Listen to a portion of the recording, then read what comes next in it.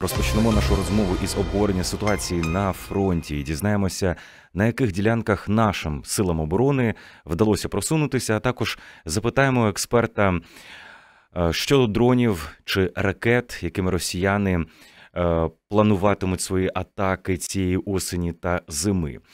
Е, Розпочинаємо цю розмову не випадково, адже як сказав речник командування повітряних сил збройних сил України Юрій Ігнат, цитую, те, що Росія буде нарощувати виробництво дронів та використовувати їх проти України, ми вже говоримо кілька місяців. Це очевидні кроки, тому що ракет власного виробництва у Росії багато не буде. З нами на зв'язку військовий експерт Сергій Грабський. Пане Сергію, вітаю. Доброго ранку, студія. Е, Розпочнемо нашу розмову з ситуації на фронті. Тож у зведенні інституту вивчення війни йдеться про те, що Сили оборони України за останні дні просунулися е, в районі кордону Донецької та Запорізької областей. Е, Ще на яких ділянках фронту нам вдалося досягти успіху? За повідомленнями наших відкритих джерел, ми говоримо, можемо говорити про певні просування в районі Мелітополя, там де наші сили оборони продовжують втискуватися в оборону противника, саме втискуватися, тому що бої надзвичайно складні в оборону противника в районі Новопрокопівки і здійснюють постійний тиск в районі Берпового. А противник кидає туди максимально можливі для нього ресурси для того, щоб в будь-який спосіб стримати наше просування. Так само активні, дуже активні бої ведуться на південному фланзі від Бахмута, де наші де наші війська намагаються взяти вже під фізичний контроль трасу, яка поєднує Горлівку та Бахмут. Це одна з комунікацій, яка дозволяє забезпечувати оборону противника на так званому Солидарському виступі. І бої там тривають. Були певні певні активності в районі Куп'янського-Лиманського напрямку. Там противник здійснював обстріли наших позицій. Ну, в принципі, можна говорити про те, що це є характерним для всієї лінії фронту, тобто та кількість ударів, яка зараз наноситься, обмін тих ударів свідчить про те, що сторони ще дуже далеко від того, щоб зупинитися або оголосити про якусь перерву, перегрупування тощо. З якого боку окупанти теж намагалися наступати? От, зокрема, біля Бахмута. Яка зараз ситуація поблизу міста фортеці Бахмута? Ви знаєте, тут не можна говорити про наступ. Я б радше говорив про контратаки противника, тому що для них критично важливим відновити ситуацію в районі Кліщівки, Андріївки, там, де наші війська просунулися і вийшли на залізницю. Фактично по залізниці йдуть бої. Тому противник там не контрнаступає, він контратакує, намагаючись вибити наші підрозділи. Саме тому активність на цій ділянці є досить високою. Ну, власне, така ж ситуація спостерігається і в районі Вибового, де противник намагається зупинити просування наших сил оборони і безперервно контратакує, намагаючись посилити свій тиск і відбити втрачені позиції. Ну, це от е, підтвердив і Олег Калашніков, пресофіцер 26-ї артбригади імені генерал Хорунжого Романа Дашкевича в ефірі телемарафону. Що найбільша зона бойових дій зараз відбувається на залізниці у Бахмуті. Чому росіяни так завзято тримаються, тримають залізницю? Треба розуміти, що саме залізниця це така е, досить вдала позиція, де можна в районі там, де є насипи на цій залізниці, утримувати оборону. І е, це вже фактично підготовлена оборонна позиція. Е, Саме тому для них критично важливо утримати цю позицію, тому що в разі втрати їх і подальшого відходу ну, справою часу буде вже фізичний контроль над трасою Т-05-13, яка з'єднує Горлівку з Бахмутом.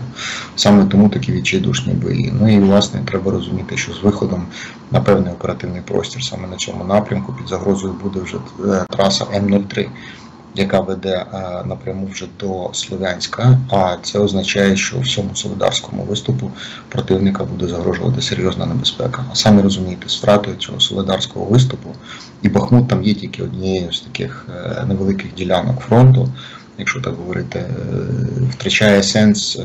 Будь-яка активність противника саме вже на Лиманському напрямку, де вони намагаються вийти на напрямок на Лиман і створити загрозу з півночі слов'янсько-краматорській агломерації. Е, інформація от щодо Бахмута, от зараз я скажу, вона не є е, офіційною, е, проте шириться. Думаю, що незабаром або підтвердиться, або спростується. Я принаймні хотів би з вами це обговорити, що біля Бахмута помічають вагнерівців. Вони вже мають нового очільника, який не підтримав бунт Пригошина.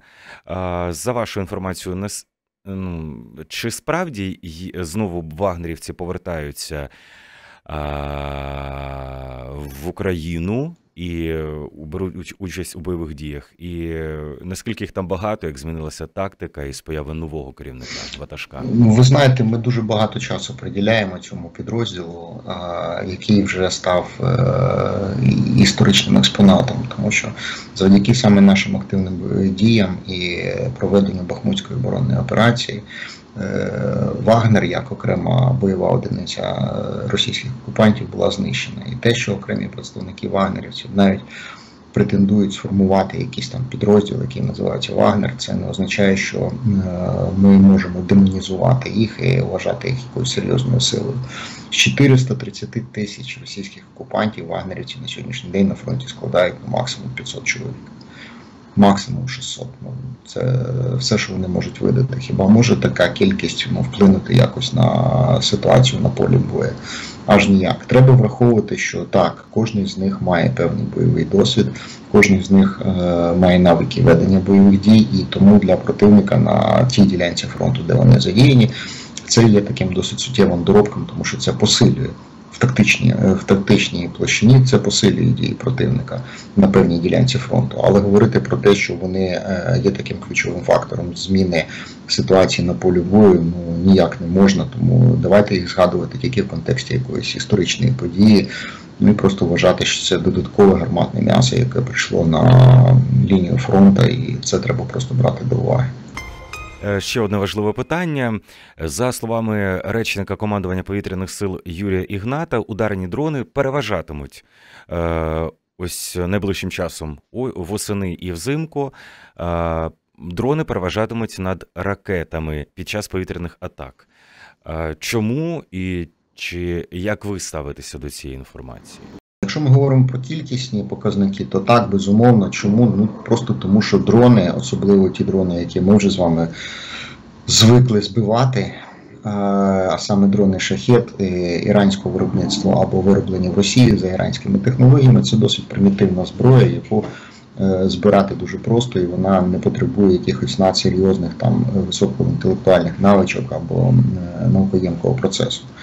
І саме це дозволяє противнику використовувати їх все більше і більше якості, тому що я вже неодноразово казав, ці дрони фактично можна збирати навіть в якихось невеликих майстернях і гаражах, якщо є певне, певний перелік комплектуючих. Що стосується ракет, тут ситуація значно складніша, тому що якби е, деякі з наших е, оглядачів або російська пропаганда не намагалася зневілювати значення санкцій, але ті санкції працюють, і саме тому ми говоримо про те, що а Росія не може розгорнути саме таке промислове виробництво ракет, яке може забезпечити їх нагальні потреби е, для ведення активних бойових дій в повітрі. Так, вони виробляють ракети, і загалом можна сказати, що в місяць Росія може виробити десь до 80, можливо, до сотні ракет різних типів з урахуванням того, що вони можуть відновити. Е, але не більше того. Тобто ми можемо оперувати такими параметрами. Тому об'єктивно маючи на меті продовження ведення операцій повітряних атак проти України, е, які мають е, своїми завданнями е, ураження наших важливих об'єктів, вскриття системи протиповітряної оборони і терор проти мирного населення. Очевидно, що дрони стають такою більш активною силою, і власне статистика за вересень показала, що проти нас було випущено рекордна кількість дронів 503 дрони при тому, що ми е, досить довгий час не чули і не бачимо е, серйозних ракетних атак. На жаль, це не має нас заспокоювати жодним чином, тому що треба розуміти, що наближається опалювальний сезон, і противник може е, зараз проводити роботу по накопиченню цих ракет для того, щоб нанести або спробувати нанести концентровані удари.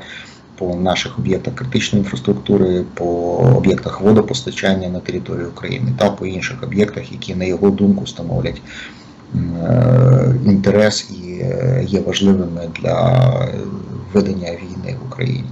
Дякую за коментарі. Це був Сергій Грабський, військовий експерт на прямому зв'язку із нашою студією Українського радіо.